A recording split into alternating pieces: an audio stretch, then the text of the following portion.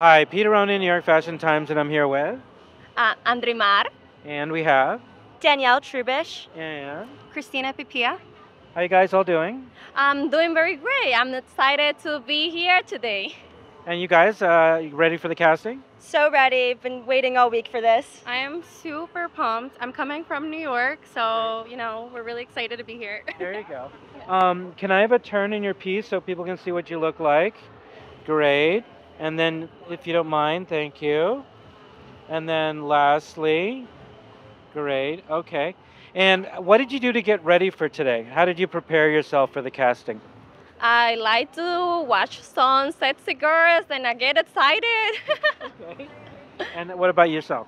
I put on some house music this morning and I practice uh, walking in the mirror. Okay.